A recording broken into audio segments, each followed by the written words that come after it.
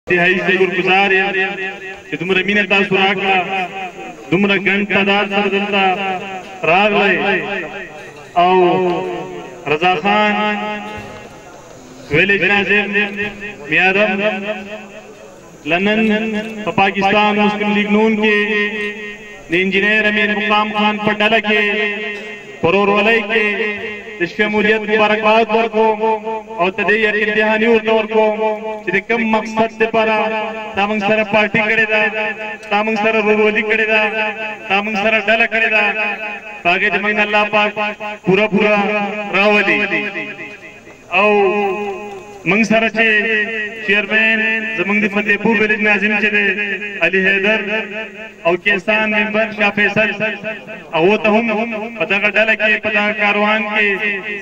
په شمولیت کې د هغو ته مبارکباد وایم او هغو ته هم دا وایم چې تاسو چې موږ سره په کوم مقصد پارټي کړې ده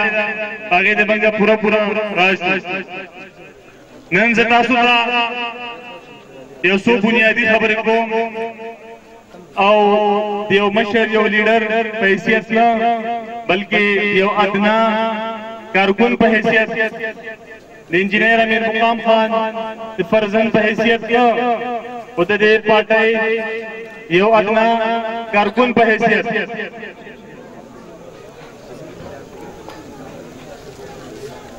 یو څو بنیادي خبرې چې کوم دلته وشوې هم خو زه دا ګڼم د هغې وضاحت لږ لازمي دی تاسو ټولو ته او د هغه وضاحت ما ول دا هم ویم چې ستاسو دا جذبه دا مینه دا جوش دا ولوله ان شاء الله په 2018 کې به ایم پی ایم تاسو ایم ان ایم تاسو او ان شاء الله انجنیر امیر مقام هم تاسو وجه راځي څنګه چې دلته ذکر وشو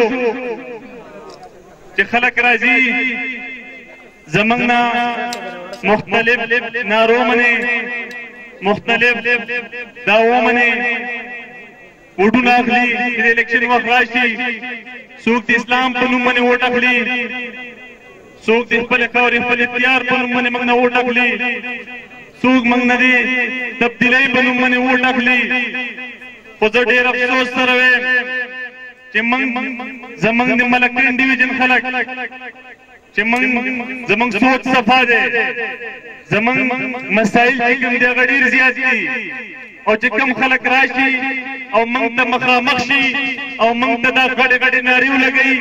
دا غټې غټې دعوې زموږ په مخ کې کېږي نو چونکې زموږ خو دومره هغه ټایم کې زموږ دومره ستونزې نو موږ یو ځای یو ځل پکې دا ټرای کړه خو زه ډېر افسوس سره وایم چې نن موږ ډېر وروسته پاتې شو که نن موږ لاړ شو هغه ابتاباد ته تاسو لاړ شئ بیا غزي سکولونو ته وګورئ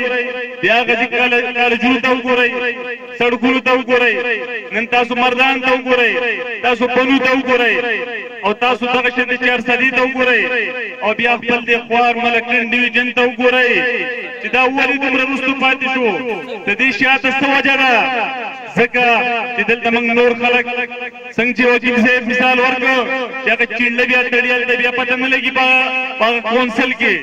نه یې په صوبایي اسمبلۍ کې پته لګي او نه یې په مرکزي کونسل کې پته لګي نو زه دا خواست تاسو ته کوم چې دا ځل تاسو ته یو بهترینه موقع ده او چې کله په 2018 کې چې کله د الیکشنو وا کمپاین کې هم دا خبره خلکو ته کوله چې چیرته ان پی سره داسې امیدواري چې دې ډویژن ته هغه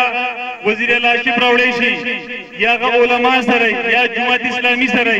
یا پیپلز پارټۍ سره نو ما بیا د هغه خلکو ملګرتیا وکړي او که فرض کړه داسې یو مشر سره نه وي داسې یو لیډر سره نه وي داسې یو قائد سره نه وي چې دا وزیر لاشیب دلته موږ له راوړی شي او زموږ دا مسایل په حل کولی شي نو ما خپل دا ووټ مه خرابوئ دا سوال بیا کوم تاسو ته او هغه خلکو ته چې دا تاسو دا چشمه لرګي په خاو په بد په تمیز کوي یو کار سړي ته وګورئ تاسو دې نه یو د قومي اسمبلی ممبر لګلې دی سلور نیم کال وشو لاړ شي او هغه د اسمبلی غری کارت راواله د سواد لپاره به دوه خبرې نه کړي څومره د افسوس خبره ده تاسو تاسو توهین ده تاسو د ووټ توهین ده تاسو د مشرانو توهین ده او د هغې وجه هم دا ده چې موږ په ښه او په بد کې تمیز نه کوو دغه شان چې موږ خپل صوبایي ممبر ولیږو نو د هغه هم دغه حالي بیا دا ځل تاسو ته یو ډېره ښه موقع ده یو ډېره ښه اپرچونټي ده دې نه پوره پوره فایده والی او انجینر امیر مقام خان چې کله په دوه زره په دوه زره تېره کې ولاړو دي ځینه نو دي ځینه هغه سیټ نه وو ګټلی تاسو هغه سملې ته نه ولېګلې خو د هغې باوجود د ظلم دومره غټې غټې منصوبې راوړي دي چې داسې یو ستاسو دلته سلیم الرحمن په شان سل ممبران چې شي هغه په سلو کالو کې نشي راوړی نن الحمدلله تاسو وګورئ نن تاسو وګورئ تاسو کلام پر روډ باندې کار روان دی یو لس ارب روپۍ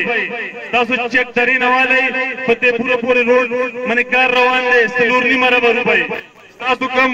سویګیس پایپ لاین چې کوم دی چې د هغې ستایس غټولو دپاره د درې نیمو اربو روپو منصوبه او اوس کالامه پورې د پنځو اربو روپو منصوبه او دغه شان دي تاسو کریډ سټیشن ته وګورئ که تاسو د بریکوټ کریډ سټیشن ته وګورئ که تاسو د مدین کریډ سټیشن ته وګورئ که تاسو په کانجو کې لګیا د کریډ سټیشن جوړیږي تاسو هغه ته وګورئ دغه شان دي تاسو وومن یونیورسيټي ته وګورئ په بیللی سټي د لدومره شي نه سواد سره وړو کاش چې هغه ټایم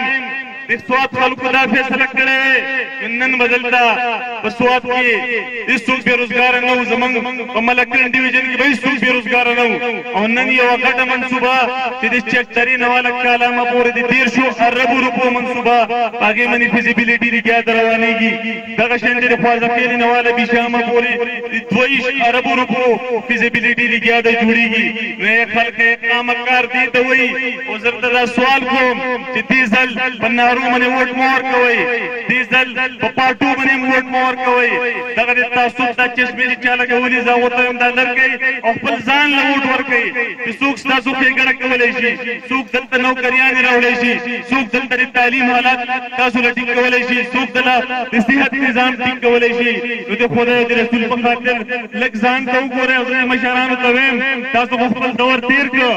تاسو خو خپل دور تیر تیر کړ اوس را روانو نوجوانانو دور دی او هغه ته د یونیورسيټیانو ضرورت دی هغه ته د کالجونو ضرورت دی او که دې ډیویژن نه داسې څوک را نشي نو دا ضلع او دا ډیویژن به ډېر وروسته لاړ شي نو زه بیا تاسو ته وایم چې یو ډېره بهترینه موقع ده یو ډېره ښایسته موقع ده دې نه پوره پوره فایده والی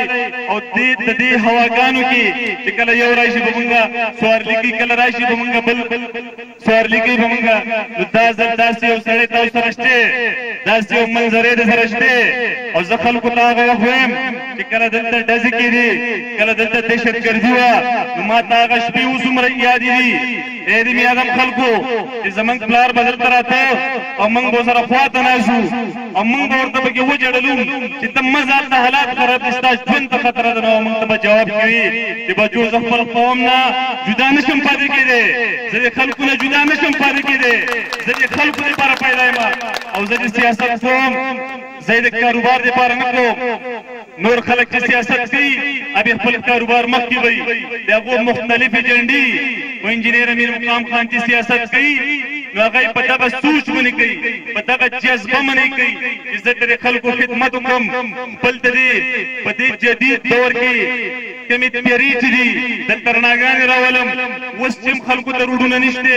هلته روډونه بوځم د هغه څه ناره نشته د هغه څه ایجنډه نشته که د هغه ناره او ایجنډه ده هغه صرف او صرف د دې ډیویژن ترقي ده د دې ډیویژن د خلکو ترقي ده د دې ډیویژن د خلکو خوشحالي ده نو زه یو ځل بیا تاسو ته خواست کوم منت درته کوم چې دا ځل په میرټ باندې فیصله وکړئ چې تاسو ته پته لګي چې کوم سړی دله دا سیټ راوړی شي نو هغه له ووټ ورکړئ که هغه امیر مقام نه هغه بل څوک نو هغه له ورکړئ خو که هغه امیر مقام نو دا ځل بیا خپل دا قیمتي ووټ مه ضایع کوئ او دا پیغام او دا میسج چې کوم دی دا کور کور ته ورسوئ دا خلکو ته ورسوئ هغو ته ووایئ یو فضا جوړه شوې ده نن تاسو وګورئ په صوابۍ کې خلک لګیا دی ستاسو مسلم لیګ کې شاملېږي په پېښور کې لګیاري خلک شاملېږي په هزاره کې لګیاري خلک شاملېږي خلکو ته پته ده چې دا سړی چې کوم دی دی گفتار غازی نه دی دی عمل غازی دی دی کردار غازی دی او د کې دا صلاحیت شته چې د کرسۍ تلال نو زمونږ کوم حقوق چې کوم دي چا به چې نارې وهلې خپل تور خپل اختیار لپاره